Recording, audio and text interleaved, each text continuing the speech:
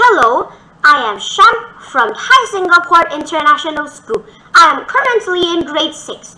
Today I am going to tell you how you can meet each other safely in person during the COVID-19 pandemic. So here is a program that I made. This is a temperature sensor. When you go to the sensor, if your temperature is below 37, then it is going to come up normal temperature.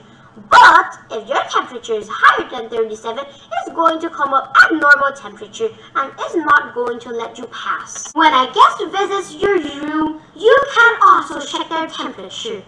Like for example here, if the temperature is below 37, it's going to show the number and it's going to say normal temperature and let you pass. Or else, it is going to not accept you and show that it's abnormal temperature. Here is my microbit temperature sensor. Here is my code. This is how it works. Right now the temperature is 36.3 which is below 37 so it accepts and gives it a pass. This is a mask sensor. When you go to the mask sensor, you have to be wearing a mask. If you are wearing a mask, it's going to let you pass. But if you're not wearing a mask, it's going to not let you pass. And it's going to say, mask alert, please wear a mask.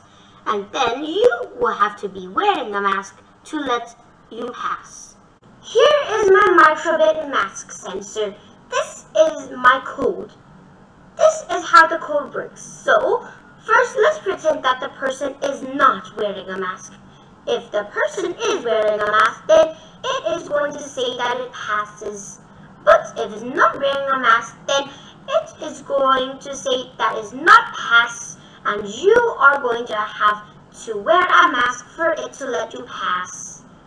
This is how it works. This is what happens if you're not wearing a mask. It is not going to let you pass like this. But if you are wearing a mask, it is going to let you pass like this. Here is a bracelet that you can wear with you anywhere and anytime. Right now, the oxygen is normal, but the temperature is high because it's higher than 37. Right now, the oxygen is low because it's lower than 95, but the temperature is normal. And here, both the oxygen and the temperature is normal because the oxygen is higher than 95 and the temperature is lower than 37. Here is my microbit. This is how my code works together.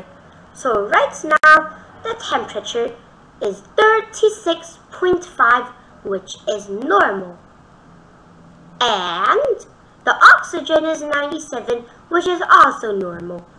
But if for example, the temperature is 38, like right here, it is not going to be normal. Here is a machine called the COVID breathalyzer where you can check if you have COVID anywhere and anytime by just blowing in some breath to it. Here is a few people lining up for school. If you don't have COVID, it's going to let you pass. But if you have COVID, it is not going to let you pass. Here is a microbit that I made. If you don't have COVID, it is going to let you pass and say that you're normal. But if you have COVID, it's going to say that you're abnormal and it won't let you pass. As of right now, there is no cure for COVID-19, but humans still somehow have to go out and interact with each other as developers use program to create some innovations to help keep people safe. Thank you and please stay safe.